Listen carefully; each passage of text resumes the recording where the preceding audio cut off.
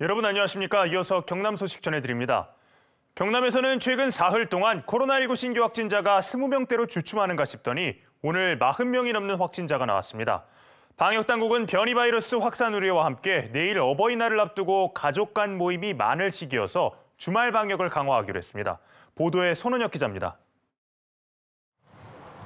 진주의 한 고등학교입니다.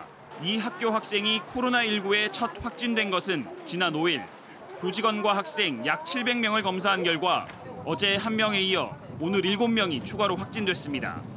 이들을 포함해 진주에서는 모두 16명의 확진자가 나왔고 김해 10명, 사천 5명, 창원 3명, 양산 2명, 고성과 하동, 함양, 거창, 합천 각 1명으로 경남의 신규 확진자는 모두 41명입니다.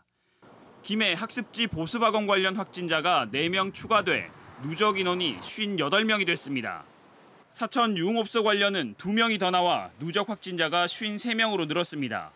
거창의 확진자는 울산에서 집단 감염이 발생한 교회를 다녀온 확진자의 가족입니다. 인접한 울산에서 변이 바이러스가 확산하고 있는 점은 방역 당국의 우려가 큰 대목입니다. 방역 당국은 울산과 생활권을 공유하는 양산 지역 제조업체 2,400여 곳의 방역 관리 상황을 점검하기로 했습니다. 경상남도는 다중이용 시설에서 확진자가 발생할 경우 방문자 확인과 격리 조치가 신속하게 이루어져야 한다며 전자출입 명부 도입을 의무화했습니다. 유흥시설과 식당, 카페, 목욕장, 학원 등 5만 4천여 곳이 대상입니다.